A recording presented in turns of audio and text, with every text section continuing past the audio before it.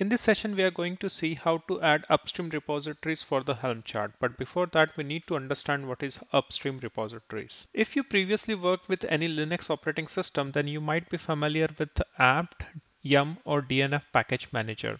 So with this package manager, you can install any application inside your Linux operating system. So similarly, Helm provide you upstream repositories. So these repositories are something where that contains a predefined Helm chart which is maintained by a Helm chart community. Let's take an example to understand this. On the screen you can see Helm install Redis Bitnami Redis. So here we are trying to install Redis Helm chart.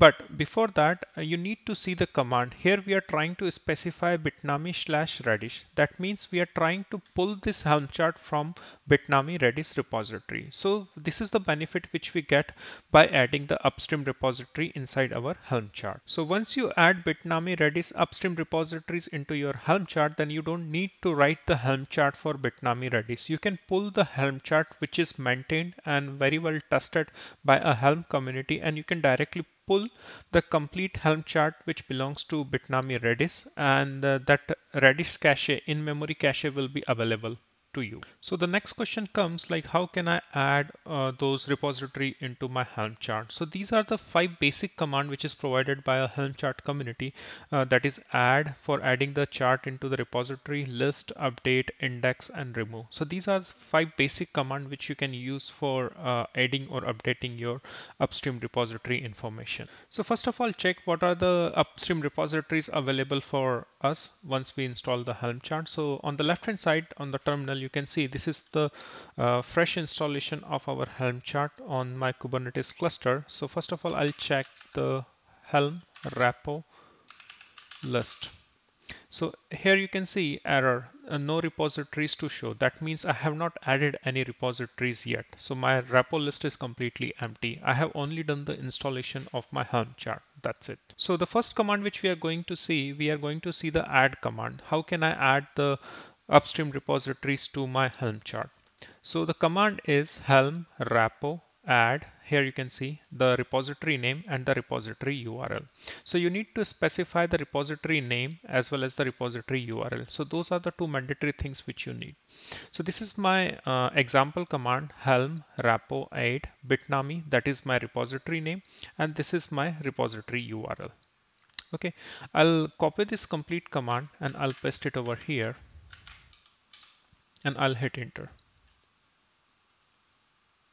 It might take some time and once it's added so you will see this message bitnami has been added to your repository. Okay, so I'll rerun that command again. And remember, we run the command helm repo list previously, and the, there were no repositories into our repo list. So I'll rerun that command and here you can see the name is Bitnami. So Bitnami is the repository and this is the URL. So our Bitnami repository has been added to our Helm chart upstream repository. Uh, one more verification which you can do, there is a command helm search repo bitnami. So here you can search the uh, repo name with its uh, name actually. So you can run the command helm search repo and you can type the repo name. So it should return you with all the repositories which is available inside the Bitnami. So here you can see, I'll increase the size of the screen. So once I run this command, helm search repo Bitnami, so I can see all the Helm chart which are available inside the Bitnami repository. So here you can see I have a different different Helm chart, Airflow, Apache, Cassandra, Common, Consul, Contour. So these are the repositories or the Helm chart which is already built by or already maintained by a Bitnami. So I can fetch any of these uh, Helm chart once I add the Bitnami repository into my local Helm chart. So I mean, this is the benefit which we get if you add the upstream repositories into your local Helm chart. So you can use any of this pre-built Helm chart like Kafka, Joomla, Jenkins if you need. So if you need any of this pre-built Helm chart, then you can easily fetch in those uh, Helm chart into your local uh, Helm chart environment. Okay, moving further, the next command which we are going to see is going uh, going to be list command. I think I think I have already shown you this command. So the command is helm repo list and that will list you all the upstream repositories which you have added right now. So that is the Bitnami which we have recently added and that's the only repo which I have right now added to my Helm chart local environment. Okay, moving to the next command. The next command is update Helm chart repository. So this command is handful when you're continuously working on a Helm chart environment and uh, you need to pull in the fresh changes which is happening in the Bitnami repository.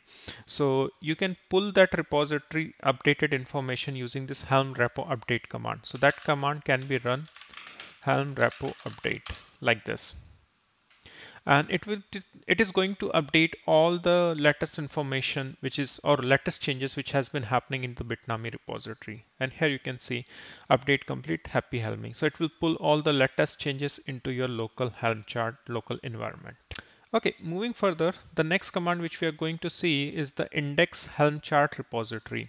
Uh, this is a little special and if you remember previously we have created a hello world helm chart. So this is our hello world helm chart.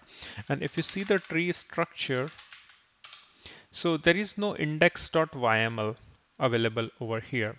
So this index uh, helm chart command, what it does it, it just creates a index.yml with some basic information. So I'll try to create this uh, index.yml. So just copy this command and paste it into terminal. And remember, you should not be inside your Helm chart directory. You should be one level up.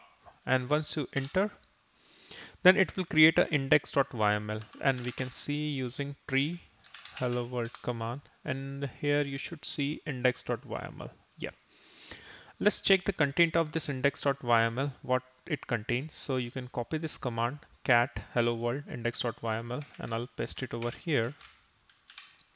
So here you can see the API version entries and generated date. So it is just a date stamp which is which it is stamping over there. So this is the index.yml command which you can use for your purpose. Okay, moving further, the next command which I'm going to see is the remove command. So if you remember previously we have added a Bitnami repository into our current Helm chart. So now we want to remove it. So how can I do that? So the command is pretty simple. Always remember it will start with the Helm repo, then the uh, remove and the repo name. So that is Bitnami. Okay, and here you can see Bitnami has been removed from your repositories and you can verify using this command. So there are no repositories to show. So as you can see now we are able to remove the repositories also. So these are the very basic five command which comes handy uh, with your repository uh, update, delete or maintenance if you want to perform. And you can see all these commands over here in this guide. In the next session, we are going to focus on the plugin, how we can install the different types of plugin available inside our Helm chart and what are the different features provided by the plugins. I hope you liked the today's session on uh, how to handle the upstream repositories inside our Helm chart. And if you have any question, then please put down into the comment section and I'll try to get back to you.